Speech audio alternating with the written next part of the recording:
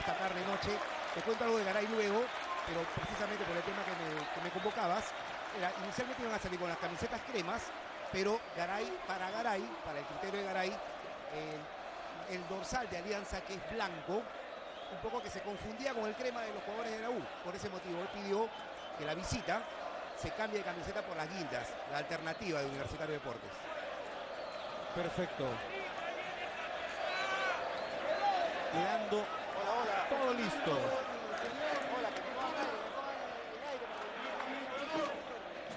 Para comenzar con el clásico. Y hablando de Garay, Garay debuta en clásicos. El año pasado, en la Copa Movistar, solamente dirigió 21 partidos, 4 dirigió a la U, 3 a Alianza Lima, y también estuvo en, la- en el cotejo que se fue en Trujillo por el tercer lugar entre Universitario y Municipal. Y hay otro dato paradójico y un poco anecdótico de Garay.